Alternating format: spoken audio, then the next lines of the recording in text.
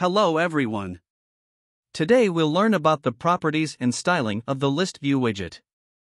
It allows you to create a list of repeatable rows of data.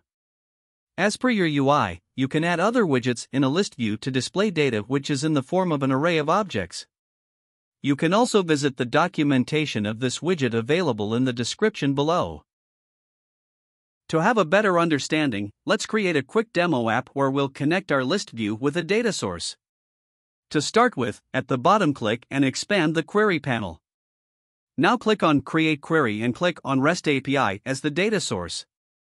Select the GET operation and enter the API endpoint. You can find the endpoint in the description below or simply add your own. Click on the Preview button, scroll down and look at the data. Now click on Create and Run to save your data source. You can expand the inspector and click on the Query, REST API, and then Data to check the added data. Let's quickly create a UI to display our data. For that, we'll drag and drop a few widgets on the canvas. Let's first drop the List View widget. Expand it up to your use case. Now we'll drop the image widget inside the list view. We'll also use a text widget, so let's place it just beside the image. Now inspect the list view widget and in the list data, we'll add this value. You can pause the video to copy the value. This is the data that we're seeking from the API endpoint and wants to display in the list view. The data should be entered in the form of an array of objects where each object contains the keywords that will connect with other widgets used here. Let's inspect the image widget and in the URL property add the following value. You can access the respective keys from the object using the keyword list item. Similarly, inspect the text widget and in the text property add this value to access the first name from the object. Now we'll quickly dive into the styles and properties by inspecting the list view. Row height.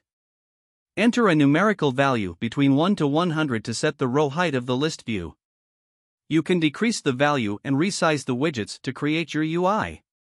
I'll be using the default value which is 100. Show bottom border. This property allows you to show or hide the border present at the bottom of each list item. We'll use the default value which is true.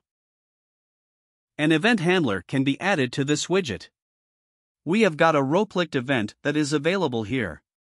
You can perform various actions so we would suggest you explore different action types. The event handler is added successfully. Now when we click on any list row the event will be triggered and we can see the pop-up message. Tooltip. Under the general accordion, you can set the value of a tooltip. Let's try it out by entering the following value.